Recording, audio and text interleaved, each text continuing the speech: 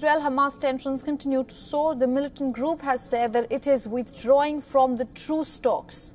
It follows the killing of at least 15 people after Israeli strikes hit an UN-run uh, school sheltering displaced Gazans. Most of the killed included women and children. The attack was launched a day after the targeting Hamas's Khan Yunis commander Mohammed Deif.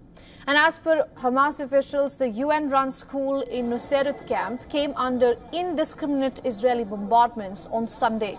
They said that the two missiles targeted the upper floor of the Abu Oreiban school, which was housing thousands of displaced people. However, the IDF claims to have been tipped off about the presence of Hamas militants inside the school. The Israeli military also said that it took several steps to limit civilian casualties, including the use of precise munitions and intelligence.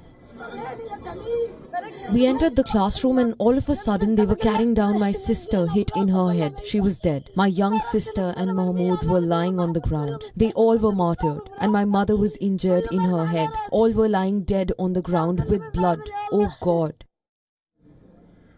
Meanwhile, the IDF claims to have killed Hamas's Khan Yunis military chief Mohammed Deif in Al Mawasi. It also targeted his deputy Rafa Salameh, but are unclear about his fate.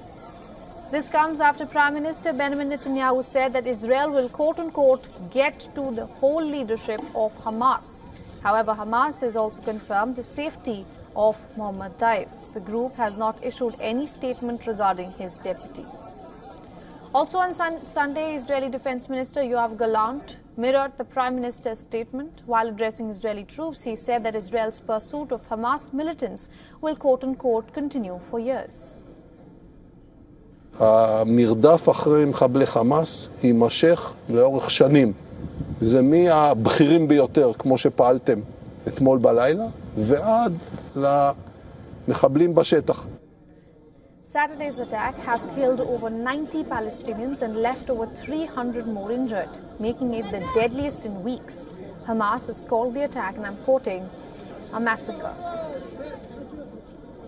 Meanwhile, Yemen's Houthis conducted two military operations, one in the Gulf of Aden and one in Eilat, at the southern tip of Israel on Sunday.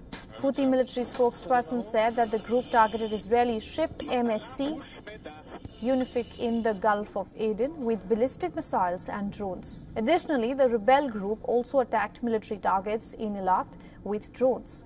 They attributed the attacks to the Israeli bombardment in Al-Malwa. نفذت القوات البحرية وسلاح الجو المسير والقوة الصاروخية في القوات المسلحة اليمنية عملية مشتركة استهدفت سفينة ام اس يونيفيك الإسرائيلية في خليج عدن وذلك بعدد من الصواريخ البالستية والطائرات المسيرة Now, Jody Cohen, our correspondent, has more on this from Renana.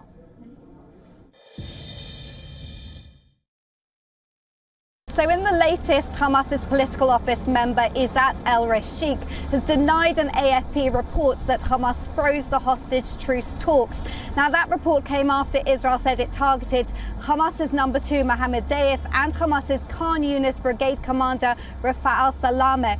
Now Hamas has said that the strike left 92 dead and they didn't differentiate between Hamas fighters and civilians in that number. The Israel Defense Forces said that they struck a building in a fenced off Hamas compound, not in the tent camp for displaced Palestinians, using surgical intelligence. Now, IDF Chief Herzi Halevi suggested that few civilians were harmed, and the IDF's operations, he said, were creating pressure on Hamas for a deal to release the 120 hostages. Now, at the weekend and again today, we've seen continued protests in Israel uh, calling for a deal to be made. And according to Qatari media, mediation is expected to continue this week in Doha. For all the latest news, download the WION app and subscribe to our YouTube channel.